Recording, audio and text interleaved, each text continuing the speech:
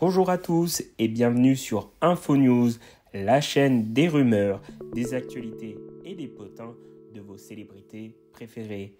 N'hésitez pas à liker la vidéo, à vous abonner Prince, et à la princesse de Galles et leurs trois enfants sont à la campagne pour les vacances de Pâques. Ils sont partis dans la foulée de la vidéo dans la campagne anglaise à Norfolk, où le roi a un château, nous apprend Bertrand Decker. Ils séjournent dans un manoir qui leur a été offert par Elisabeth II. C'est une maison dans laquelle ils peuvent recevoir. Aucune photo ne file car il est très haut gris, haute barrière et haut aux arbres. Il a totalement levé le pied. Il a suspendu son agenda pour rester proche de sa femme. William est un peu inquiet.